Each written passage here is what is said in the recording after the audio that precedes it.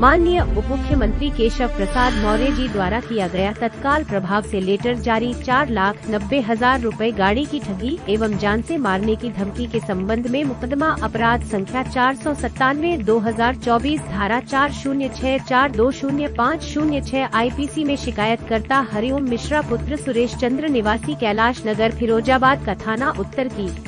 Police के ऊपर आरोप है। राजेश कुमार पांडेय प्रभारी निरीक्षक एवं आई जाँच अधिकारी राकेश कुमार गिरी का उठना बैठना अभियुक्त नीरज महेश्वरी पुत्र श्री राम महेश्वरी निवासी मातावाला बाग फिरोजाबाद दो रूपेश कुमार शर्मा पुत्र रमेश चंद्र शर्मा निवासी ओमनगर कॉलोनी फिरोजाबाद तीन वैभव दीक्षित पुत्र उमेश दीक्षित